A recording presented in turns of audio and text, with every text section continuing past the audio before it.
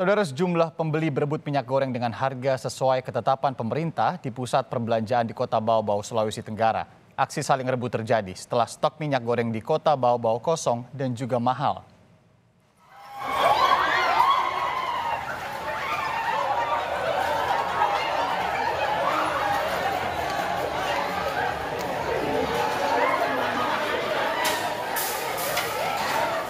Terlihat dalam video saat toko dibuka, saudara puluhan ibu-ibu berlarian masuk ke toko dan langsung menuju rak tempat menyimpan minyak goreng.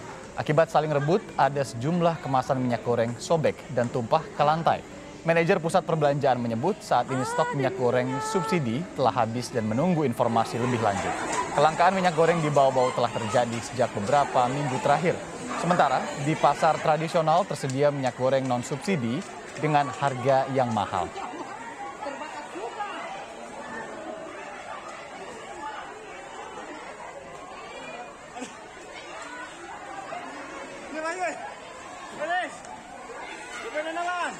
Dan sebelum kita buka toko itu sudah mereka sudah di depan pintu rolling door ya udah gedor-gedor minta dibuka ya.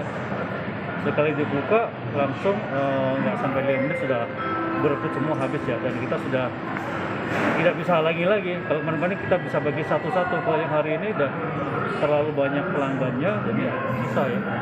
Jadi ada yang bawa satu apa? Satu ini apa satu apa eh, mungkin satu satu keranjang itu dibawa penuh ya. Jadi eh, mereka sudah saling berebut ya susah sekali kita